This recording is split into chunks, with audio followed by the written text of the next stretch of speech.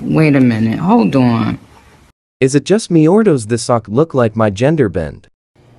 Um, chow. Anyway, so I literally do not know whose sock to make. Comment down below if I can make you an sock. Pollen, Tricks. Florence. coffee, ticky, Well